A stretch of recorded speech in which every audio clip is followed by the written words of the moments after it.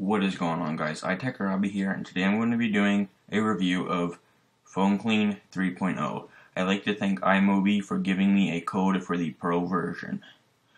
PhoneClean is a great program to use if you're running low on storage on your phone or if your Apple device is starting to get slow. Now looking at the program here, this does run on Windows and Mac so you have a couple different options to choose from. There is a quick clean, a deep clean, toolbox, and restore.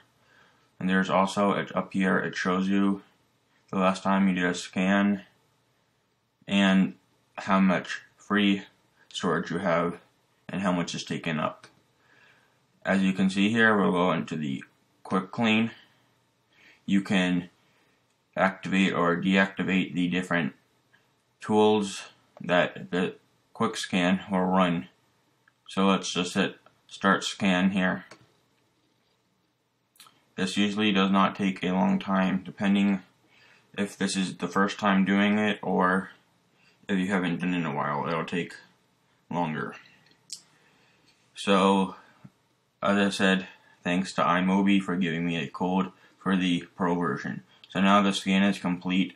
Um, it's going to clean 94.39 megabits my device and it took about 17 seconds. So let's hit clean and then I'll start cleaning the different things in my phone.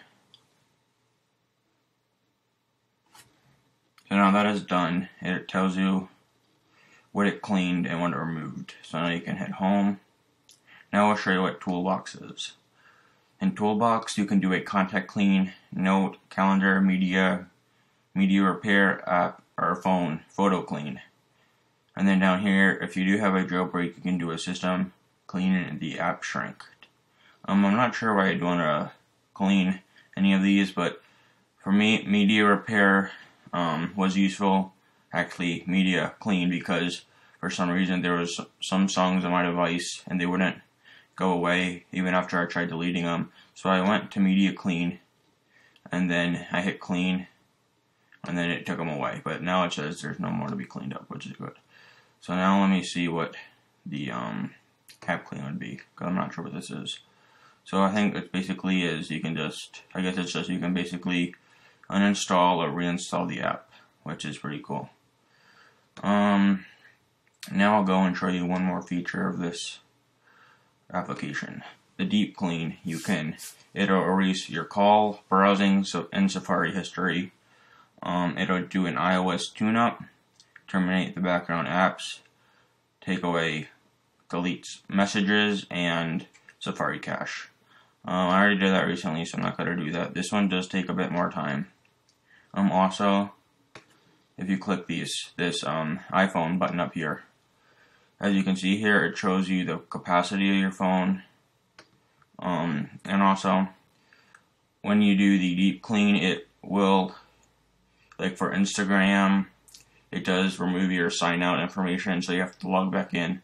So make sure you remember that before you do this clean, and you can also turn them off as well. I think they are off now because I'm pretty sure that's how they turn on. And then the backup. Um, let's see what this button is. I guess it just refreshes how much space is on your phone. And there's a check for updates button, so this is up to date.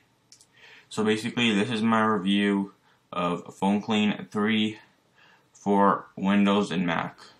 Once again, I'd like to thank iMobie for giving me a code for the Pro version. You can go and download the free version, which I just believe you can just only do the quick clean and maybe the deep clean, and I don't think you can do these other two options. So, like I said, thanks for watching this video. Be sure to subscribe to my channel and hit the like button down below.